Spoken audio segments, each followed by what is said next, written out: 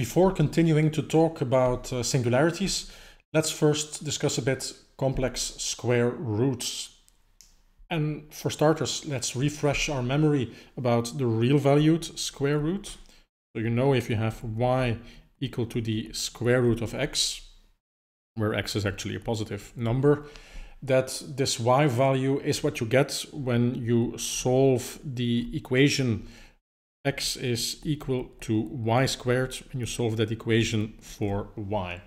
Okay, I guess we're all familiar with that. But something we often sweep under the rug or we often forget is that when we solve this equation for y, there's actually two solutions. Not only do you have y is equal to the square root of x, so this is x and y, but we often forget that there's also a second solution, namely minus the square root of x. Obviously, if you square this thing down here, minus 1 squared will just give you plus 1. So both of these guys are solutions to, to that, uh, that equation. Okay, so far so real valued, but let's now look into the complex plane. What happens over there? So what happens over there is that we're looking at a certain function w, which is a function of z, which is the complex valued square root. And then for some strange reason, people denote that with z to the power of 1 half. They don't use the square root symbol from over here, just to make a distinction between real valued square root and roots and complex valued uh, square roots. But again, just like before, this square root is what you get when you solve a certain equation. When you solve the equation z is uh, w squared, for w. So we're trying to figure out what are the w values that solve uh, that equation. The question is, in this particular case, do you also have two solutions? So pause the video and try to explicitly calculate the solutions to that equation, but now this time in the uh, complex domain.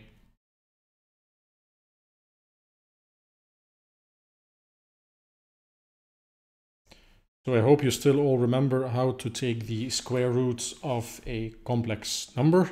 What you need to do is you need to write that complex number in its polar form. So z is rho exponential j theta.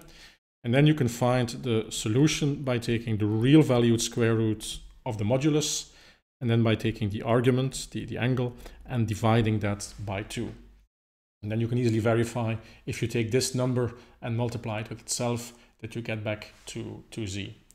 So this is one possible solution uh, to that, uh, that equation. Obviously, just like before, there's also a second solution, W2, which is minus W1, uh, because also here, if you square that minus sign, that will disappear in the squaring process, and you just end up uh, back there. Now, it's interesting to figure out where exactly this minus sign comes from and looking at it in a slightly different way. This actually comes from the fact that the phase in this representation here, the argument, is only defined up to integer multiples of 2 pi. Because we can also write that z is rho exponential j theta plus 2 pi. And if we now use the same recipe to calculate the square root of a complex number, what we should do is we should take the real valued square root of the modulus, and then we should halve the arguments. So we have exponential j theta over 2, but we also have an exponential j uh, pi, which is 2 pi over 2. And indeed, this exponential j pi, this is what gives us the minus 1. So fundamentally, the reason why we have a second solution over here is because the angle here is only defined up to an integer multiple of 2 pi. So if we just add 2 pi and blindly follow the rules, this second solution naturally rolls out of our calculations. Okay, but the important message here is that just like in the real valued case, in the complex valued case, the square root function is not single valued. So for a single z as an input, the output w f of z actually gives you two possible results. Here I've made a very simple diagram of the real valued square root. Can we also make something of the complex valued square root? That's a little bit more tricky, of course, because now we're dealing with four-dimensional beasts. Eh? complex input, which is two variables, complex output, which is again two variables. Still, it's nice to look at pictures, so let's try and project that four-dimensional thing down to three dimensions. So we can have a 3D plot where we have, for example, the x-axis representing the real part of the input, the y-axis, the imaginary part of the input, z, and then we have the z-axis. Well, let's say that this is, for example, the real part of, uh, of w. Just to have some echoes of the four-dimensional nature of this thing, we can also bring color into the mix. And then we could say, for example, that if you look at the phase of the output, that you associate that with a certain color. And that way you have a three-dimensional object, which you can now also plot in a two-dimensional plane of, of this screen. And then it looks something like, uh, like this, basically. So just to walk you through the axes here. So this is the horizontal axis X, this is the vertical axis Y. So these two things are the real part, respectively, the imaginary parts of the, uh, the input. And the, the point in the middle here, that's, that's the origin. So you clearly see that in this diagram, there's also contained the parabola of the square root for the real valued case, because for the real valued case, we should have the situation where y is uh, equal to zero, so where the imaginary part is, is equal to zero. So this is this parabola here, which is lying uh, over here. Okay, that, that's good. Um, another interesting to interesting thing to point out is that you clearly see that for a single input, so for a single point in the xy plane, there's actually two possible solutions for the square root. You have one solution which is lying up here in this upper part of the diagram, and there's a second solution which is lying down there in the lower parts of this, uh, this diagram. And you also see that this diagram intersects itself in a very interesting way.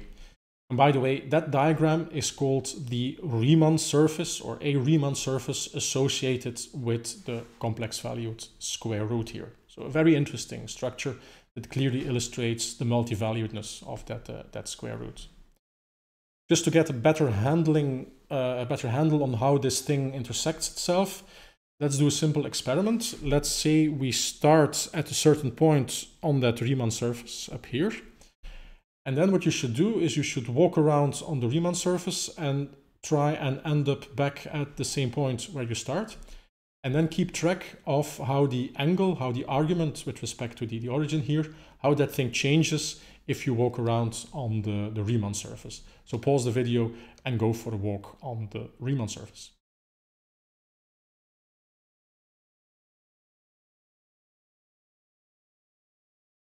So let's start our walk here. Um, then we start going down here until at a certain point we arrive here, which is just below our starting point.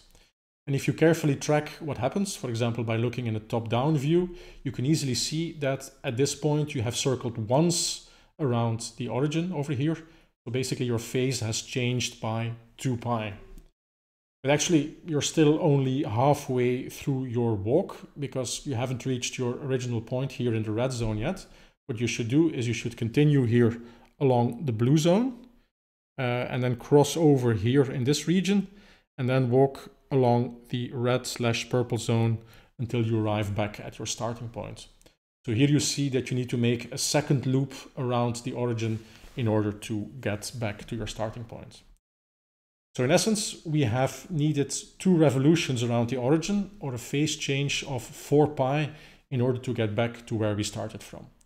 One thing you could say is that this Riemann surface is basically twice as large as the regular complex plane because your angle needs to change by 4 pi before you end up where you started.